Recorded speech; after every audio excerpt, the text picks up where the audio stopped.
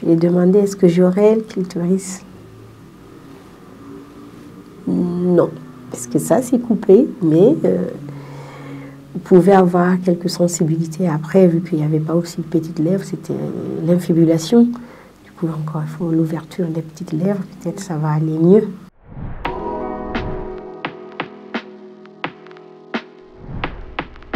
L'excision consiste à couper le clitoris de la jeune fille. Vu qu'il y a plusieurs types d'excision, on en parle de trois. On a le type 1, type 2 et type 3 qui consiste à l'ablation des petites lèvres. C'est l'infibulation.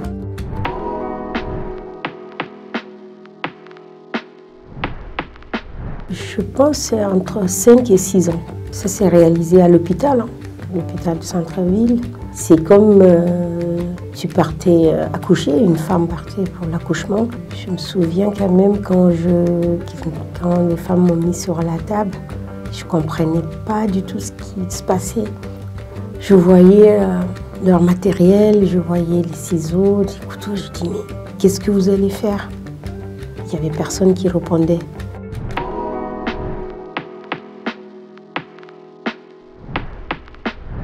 J'ai eu très très mal. Très très mal. Je pense que je vais jamais avoir si mal que ça. Très très mal. Arrivée à la maison, moi je suis restée quand même euh, plusieurs semaines et j'arrivais pas à m'asseoir.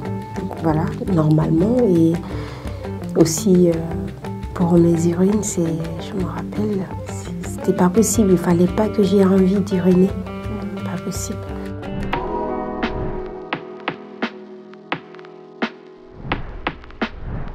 Écoutez, la Guinée, c'est un pays où euh, l'excision est pratiquée depuis des décennies. hein. C'est notre culture, c'est voilà, la coutume, comme ils le disent. Ils parlent de plusieurs choses, c'est-à-dire que voilà, c'est dans notre coutume. Et si tu ne le fais pas, voilà, tu n'es pas considérée comme une femme propre, tu n'auras pas un mari, tu ne pourras pas jouer avec les autres filles qui sont déjà excisées. Aussi, si tu le fais pas, voilà, tu vas coucher avec tous les hommes. Moi, quand même, ce que je pense, pour ce qui s'est passé pour moi, quand une petite fille est turbulente, ça, ça s'aggrave, je pense, les degrés d'excision. Parce que moi, je l'ai eu à 3, type 3. Du coup, je me demandais, mais pourquoi moi Pourquoi? Et je me souviens que j'étais très, très turbulente.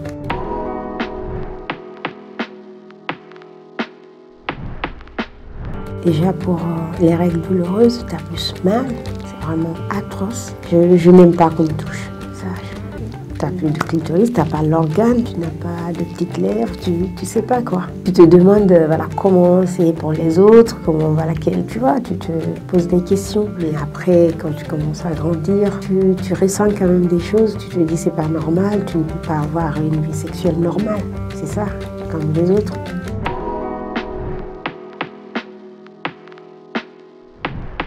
J'ai essayé de, faire la chirurgie réparatrice quand on m'en a parlé, mais j'ai pris quand même trois ans de réflexion. Je lui ai demandé est-ce que j'aurais le clitoris?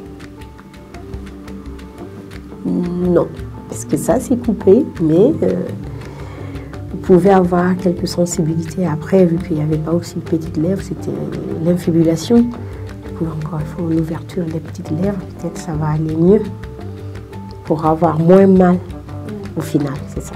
C'est pour ne pas avoir mal, mais le plaisir, euh, pas trop.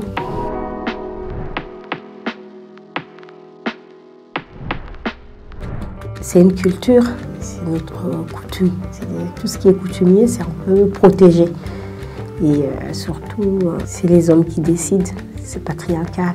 Ils ont la parole et du coup, c'est un peu difficile.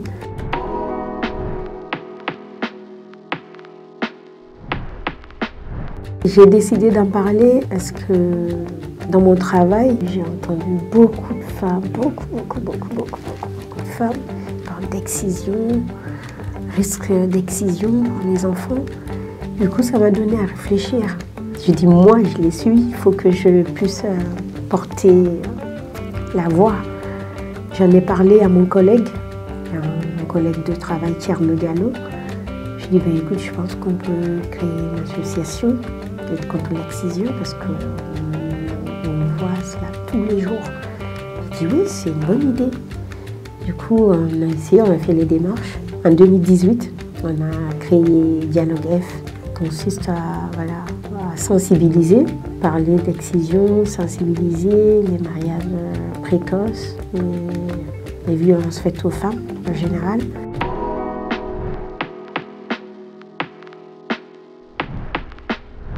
Alors, moi, ce que je peux dire à ces femmes qui ont été excisées, l'acte s'est déjà fait, c'est vrai, mais qu'on essaie de se reconstruire. Ça veut dire qu'on peut passer par euh, la chirurgie réparatrice. Ça peut nous aider. Ça peut aider. Pour les personnels de, de santé, pour qu'ils soient mieux informés de l'excision. Je pense que certains aussi ne savent pas c'est quoi l'excision.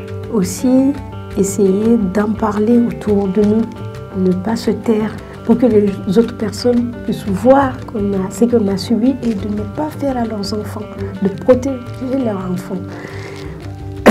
C'est que c'est un traumatisme à vie.